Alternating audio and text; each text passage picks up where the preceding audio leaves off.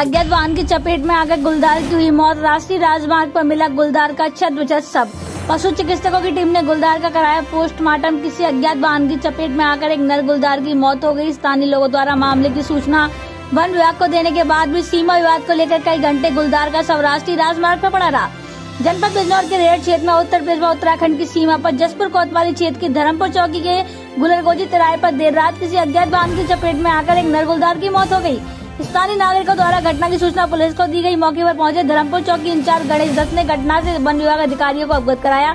सूचना मिलते ही मौके पर पहुँचे वन क्षेत्र अधिकारी ललित कुमार आर्य ने काशीपुर वन रेंज स्टाफ को अवगत कराया। सुरजीत सिंह तराई, पश्चिमी वन प्रभाग, काशीपुर डिवीज़न के सेक्शन इंचार्ज का कहना है कि गुलदार का रामनगर रेंज कार्यालय पर एनटीसी के दिशा निर्देश के अनुसार पशु चिकित्सकों के द्वारा पर दल द्वारा पोस्टमार्टम करा दिया गया। गुलदार के सभी अंग सुरक्षित है। गुलदार का विश्रा सघन जाँच हेतु आईबीआरआई बरेली भेज दिया गया है। पोस्टमार्टम के बाद रामनगर वन कार्यालय परिसर के नज़दीक गुलदार के सब जला के नष्ट कर दिया गया। इस दौरान सुरजीत सिंह, शंकर सिंह राजीव शर्मा सहित विभागीय कर्मचारी मौजूद है बिजनौर ऐसी संवाददाता नौरोज हैदर की खास रिपोर्ट।